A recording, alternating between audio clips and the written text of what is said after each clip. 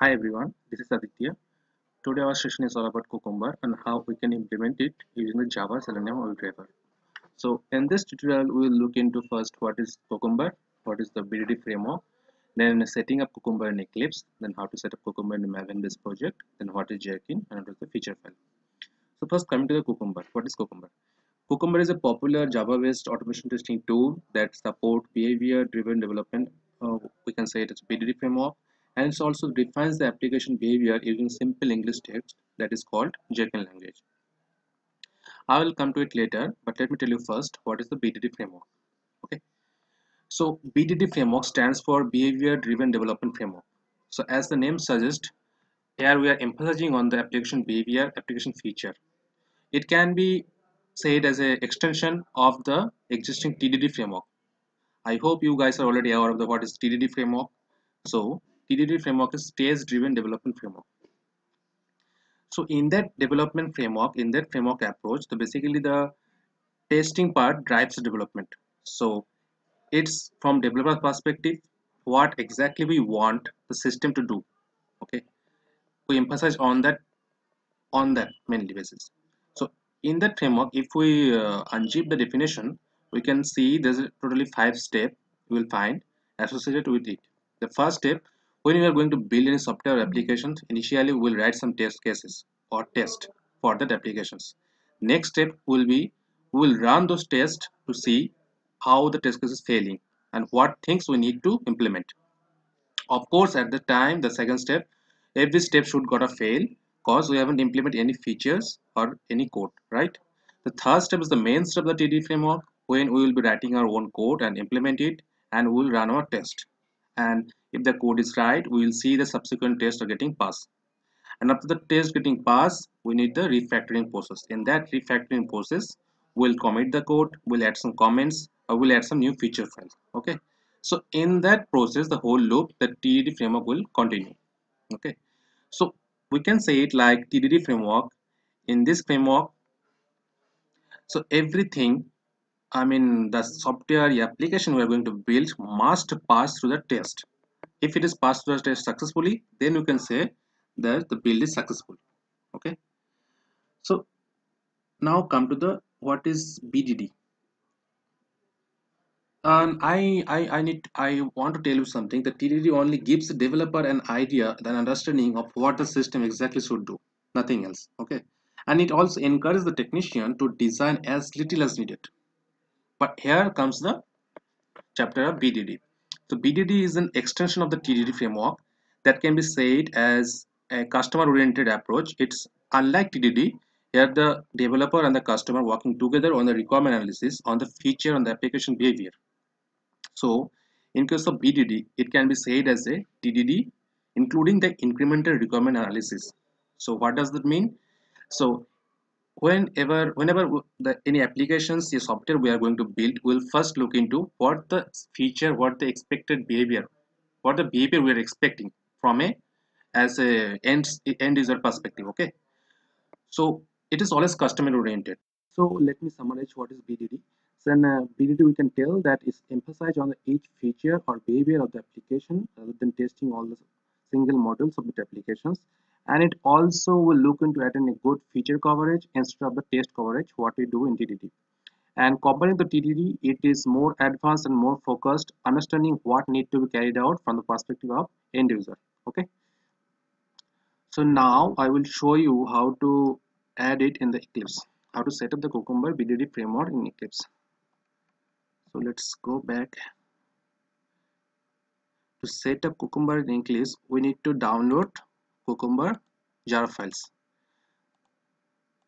So you can download it from here also. I will prefer Maven repository. You can download it from java2s.com or you can also download from the Maven repository. Personally I prefer download it from the Maven repository okay? So uh, for the cucumber setup I have already downloaded these files in my local machine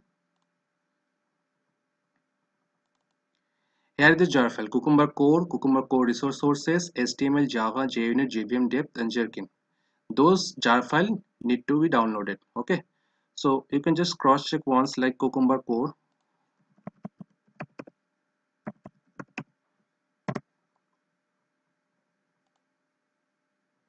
Check the latest versions 1.2.5 this version and clicking on the download jar you can download the jar in your local machine. That will be helpful to set up in the eclipse project okay? I have already downloaded those files. Now i will show you how to create how to add it in the eclipse. Let me go back to my eclipse. First you have to create a new project okay? So i'm creating a new project here. I'm naming it as a cucumber concept sorry. Not here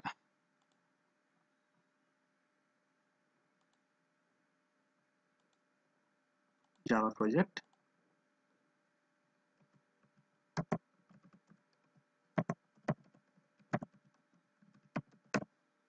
Cucumber concept. Okay. Click on next on next. Okay ssc file has been created. And just finish it. Remember my decisions yes.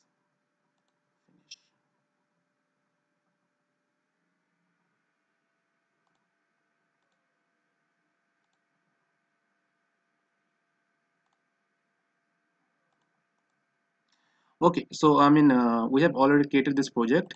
Now from this project i am going to add those jar files what we have downloaded okay? So go to the project properties go to the java build path and libraries. From the libraries we have to add the external jars.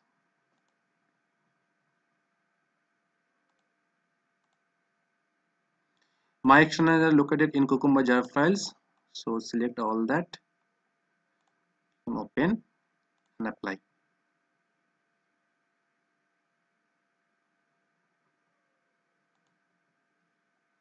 see uh, those jar files got added here. See? So now from here I'm going to create first going to create a new feature file.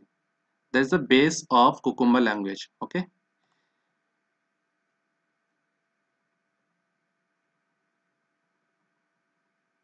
Cucumber. Not sorry, sorry file I'm going to name it as a like uh, cucumber dot a feature then finish.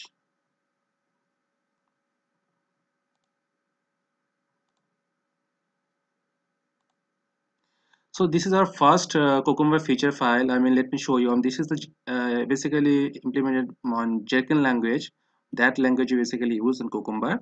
And uh, we can see that uh, the Gherkin language basically I mean it's based on some keyword like given and when and everything is simple simply written in English. Like given in one scenario has been given like title whatever the title you have uh, you want I mean what are the expected behavior a feature you want to automate and this will be given this way okay?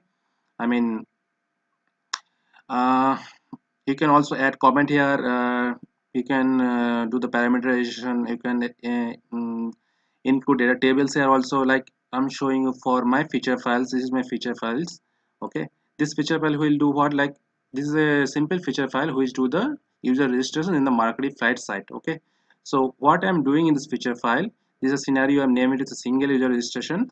So when I'm when the registration page is getting displayed then I'll be able to provide the value details. Like details registration details I'll be providing then click on the submit button and thank you for registering should be displayed. Then user clicks on the log off then close the browser. So this is a simple feature file that I have written and implemented it. Uh, this totally based on the Gherkin language. I will come to it later. Okay. So uh, after creating the Cucumber feature file one thing you have to note that uh, if you create it uh, without the Eclipse Cucumber plugin then you will get it normal. Now like this way you will get.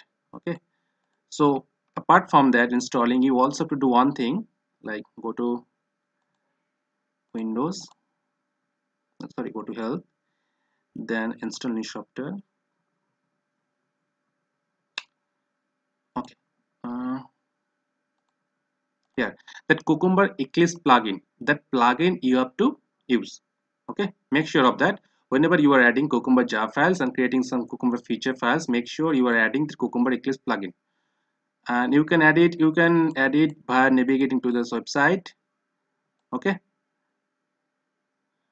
So after adding it what basically it will do it will highlight whatever the syntax in the JQuery language. It will simply highlight that will be more understanding to the user.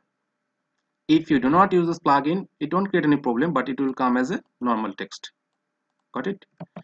So uh, here I have successfully created the Cucumber feature file for setting up a Cucumber project and there's another way to create a Cucumber uh, I mean Cucumber um, project in uh, for Maven user also. Uh, for Maven user here we have explicitly added those Cucumber files here okay? So now I'm going to add those files creating a Maven project and add those files in the reference pom xml file and those will get downloaded automatically. Now I'm going to show you. So what are we going to do? We are going to, going to create a new project. For Maven user I'm going to create a Maven project okay? So um let me on the next next.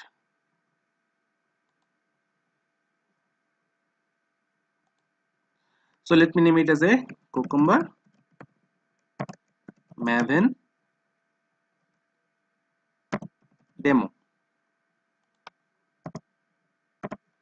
Rest of the things will be same. You don't need to bother about it.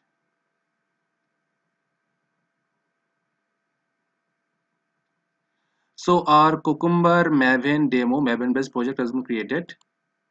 And if you open it here you will get a file like pom xml file. There's a page update module xml file so if you are a maven user i know you are already aware of that file what the pom xml user um, pom xml file will do.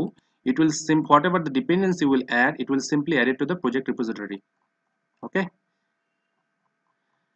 So uh, now i'm going to show you how to add the cucumber pom file uh, cucumber pom files here so uh, if you want to add those uh, if you do not want to download these jar files and just simply want to add it to the cucumber you can just download this I mean copy this dependency from the Maven repository and you have to paste the dependency in the POM XML file okay? For my separate project I have implicitly created one. Let me show you. Those files those dependency I have already added before okay? Let me copy from my previous one. Okay.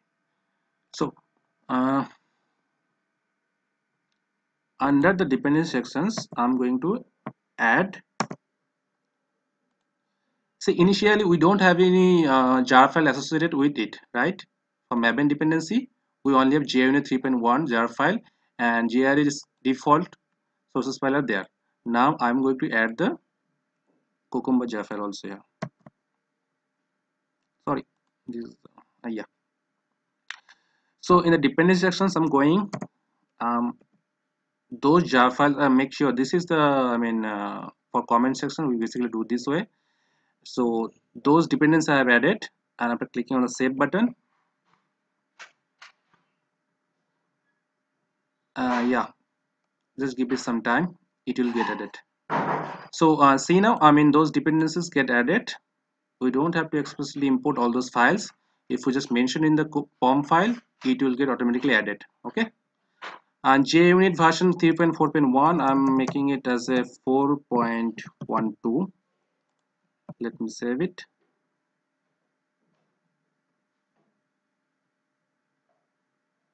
Okay so I just let me refresh my project. So see, uh, for this Maven dependency, uh, JUnit 3.8.1 has been replaced by JUnit 4.12 and Hamcrest is the default that has been uh, incorporated with JUnit 4.12 version. So next thing I'm going to do, uh, uh let me create one uh,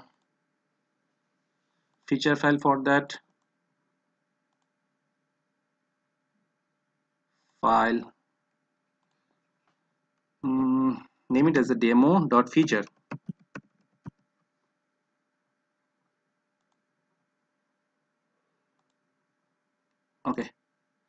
so i have created the demo feature files here also for the maven base project. It will uh, the same thing we have created for the normal this project where we have explicitly imported those jar files from our local system. And for maven base project i have mentioned whatever the dependencies we need to add in the pom pom.xml file it will get automatically added. Okay? So in the next sessions i will cover uh, the basic script of the basic uh, writing a basic scenario basic script and uh, step definition classes of the cucumber sessions. So that's all for today. Uh, let me know if you have any issues. Thank you for watching